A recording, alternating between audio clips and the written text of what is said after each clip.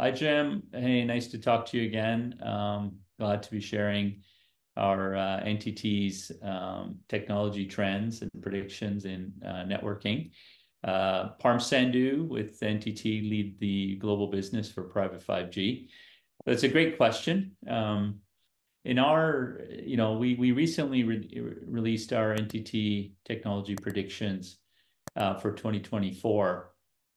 And, uh, you know, it's uh, been around broad areas of of cloud and and uh, computing and AI, and also our future IOWN technologies.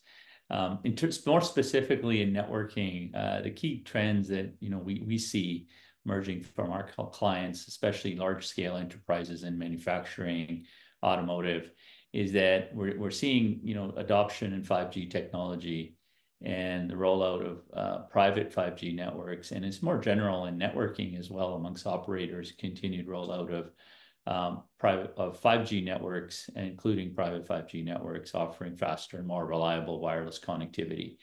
The the trend around software-defined networks, especially, is still continuing to gain traction, providing more flexibility and programmability in network management. Um, the interesting um, Uh, transition that's happening with AI in operations, more specifically, has actually been, um, even though it's been going on for several years now with the greater adoption availability of new modern AI technologies.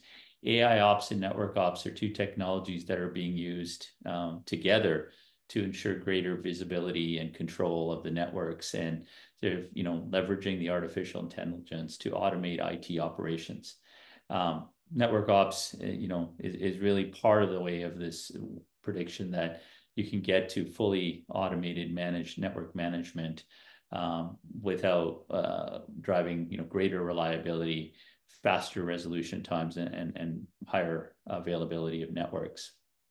The other main trend we're seeing is around uh, ZTNA and security integrated into networks, Uh, or or more so security-driven networking. Uh, that's integrating security and visibility right into the infrastructure to um, monitor, get visibility into where the traffic is going, what devices are doing, addressing um, evolving security threats.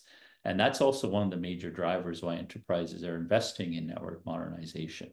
And finally, the latter two items I want to talk on is around sustainability, overall sustainable technology. So customers are now starting to ask us, you know, um, what are some of the sustainability advantages of our networking technology? And that's become eh, being built into decisions and purchasing decisions.